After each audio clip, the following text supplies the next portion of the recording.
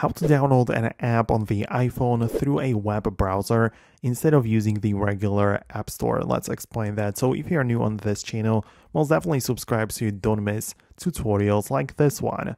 So basically, the web browser can let you download some apps. Like if you go to a specific website, which uses like an online interface, it might be like a game portal or something you can tap on the share option and click on the ability to just add it to the home screen. So there's going to be like a plus button in a square. You'll be able to add it to your home screen as an as a separate icon, which technically is a bookmark, but then the icon behaves like a standalone app.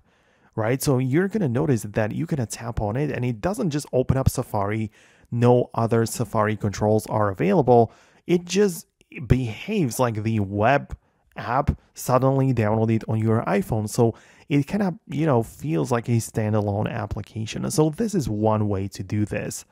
Outside of that, uh, there are places like side loading markets, which are like alternative app stores for the iPhone.